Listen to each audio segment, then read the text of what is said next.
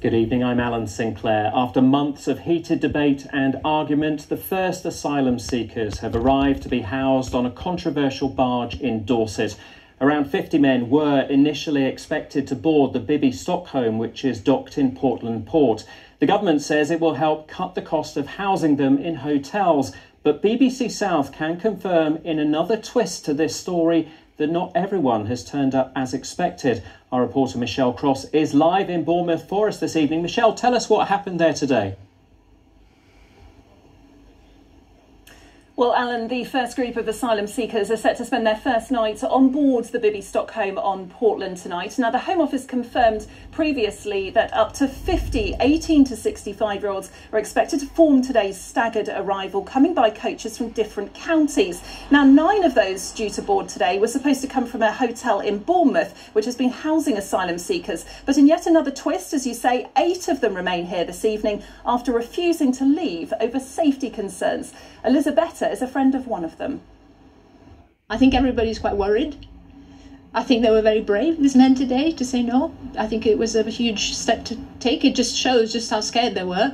Because, yes, I think it crossed their mind what happens? What will happen if I say no? What will happen to me? No one knows exactly, actually. Now, we saw the coach leave Bournemouth just before one this lunchtime, and it appeared to be carrying just one passenger. Now, one of the group who stayed behind didn't want to be identified, but told me he'd fled Syria, leaving his wife and two children, and has been waiting on his application to be processed for eight months now. It's a huge difference to go from here, which is okay, to to the barge I mean, the barge in itself is, is quite a, restricted type of accommodation for the 200 people it was designed for.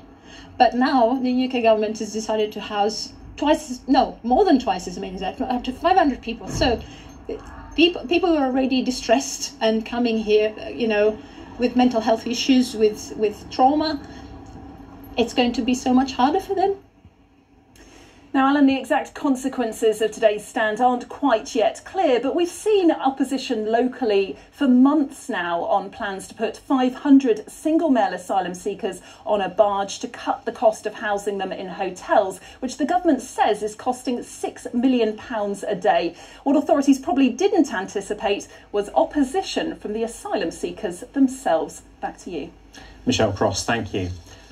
Well, earlier on, I spoke with the chief executive of the charity which has been campaigning on behalf of some of those asylum seekers, and I asked him why they've stepped in. There's some concern over the degree of pre screening that's happened. Um, we understand that there really hasn't been any pre screening at all. And why is that important? Well, we're dealing here with people who've faced amongst the most dangerous and difficult traumas in their life. Uh, they've been they've been victims of war and conflict torture, detention, persecution. And some of them have, have been already traumatized by sea crossings across the Mediterranean, potentially across the Channel as well. And housing them on a barge on water potentially re traumatizes them again. And so, what we want to see is a degree of proper screening done before those individuals are put on board the barge. Is it the asylum seekers themselves who are making a stand, or have they been pushed into doing this by organisations like yours?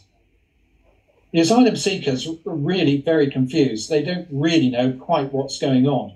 Um, up until a few days ago, there was some uncertainty about what the Bibby barge was. Um, they don't know whether this is because their asylum claims are somehow being rejected, if this is some sort of punishment. So we have a legal access team in any case, and that legal access team has put individual clients in touch with lawyers. Lawyers are assessing their cases and they're challenging those cases, uh, the, the, uh, the removal to the barge in, in instances where it's inappropriate. So, how quickly will this come to a conclusion? When will we know if those people do move onto the barge? Well, you can imagine that the government will try and push this through as, as quickly as they can. From our point of view, the and I'm not a lawyer, so I can't tell you how quickly it's going to happen. But what I can tell you is that as a charity, we fundamentally uh, oppose the use of a barge like this for virtually warehousing asylum seekers. We believe they should be dealt with with dignity, where possible, uh, integrated into communities. Steve Smith from Care for Calais. Thanks for your time this evening. No, thank you very much indeed. Thank you. Well, the Home Office has tonight said they are looking at a number of legal challenges but can't comment on individual cases. They added that accommodation is offered on a no choice basis.